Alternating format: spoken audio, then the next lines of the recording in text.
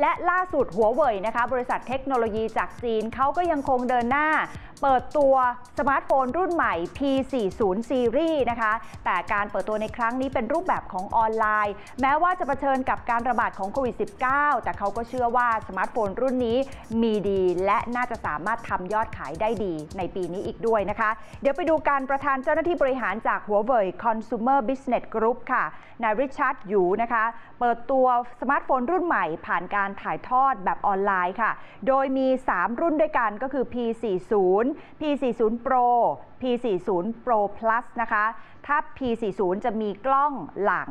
3 ตัว P40 Pro มี 4 ตัว แล้วก็ P40 Pro Plus มี 5 ตัวนะคะ ที่ผ่านมาเนี่ยหัวเว่ยก็เป็นแบรนด์สมาร์ทโฟนแถวหน้าเกี่ยวกับเรื่องเทคโนโลยีกล้องถ่ายภาพ ครั้งนี้นายหยูย้ำนะคะว่า P40 Series ยังตั้งมาตรฐานให้สูงขึ้นอีก ด้วยเซ็นเซอร์กล้องขนาดใหญ่บนสมาร์ทโฟน การซูม 4 เท่า แล้วก็ยังมีเทคโนโลยีปัญญาประดิษฐ์หรือว่า AI ที่ก้าวหน้ามาก ๆ ด้วย แม้ว่าบริษัทจะได้รับเสียงชื่นชมด้านฮาร์ดแวร์จากนักวิจารณ์ แต่สมาร์ทโฟนรุ่นใหม่นี้ต้องเผชิญกับการระบาดของโควิด -19 มีการปิดเมืองในหลายประเทศนะคะ ก็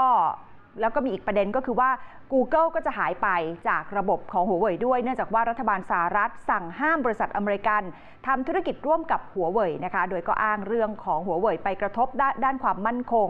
ก็เลยมีการคาดการณ์กันว่าเอ๊ยอดขายสมาร์ทโฟนทั่วโลกเนี่ยน่าจะลดลงไป เพราะว่าร้านค้าต่างๆ ก็ถูกสั่งปิด เศรษฐกิจโลกก็ชะลอตัวนะคะแต่นายหยูบอกในแง่บวกนะคะบอกว่าหวังว่า P40 Series เนี่ยจะขายดีไปทั่วโลก แล้วก็ย้ำว่าจีนเนี่ยสามารถที่จะคุมไวรัสได้แล้ว การผลิตของหัวเว่ยก็น่าจะฟื้นกลับมาได้อย่างรวดเร็ว ซึ่งตอนนี้ประเทศต่างๆ สามารถเรียนรู้ได้จากจีนค่ะ แล้วก็หวังว่าทั่วโลกจะสามารถควบคุมไวรัสได้อย่างรวดเร็วเช่นเดียวกัน